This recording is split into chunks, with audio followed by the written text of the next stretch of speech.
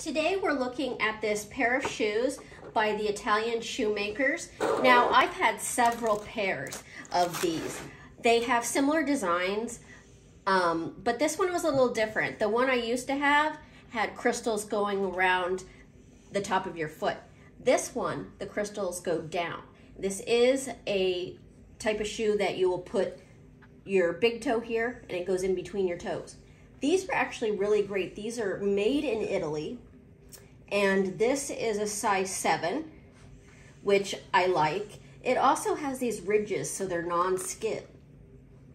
This is one of my favorite brands of shoes. They're comfortable, they look good, they have them in a variety of colors, but I just like the quality. I've never had the crystals fall off. So I highly recommend that you give the Italian shoemakers a try if you're looking for a decorative, cute shoe that you can wear daytime, nighttime, you can wear it formal or casual. So check out the Italian shoemakers.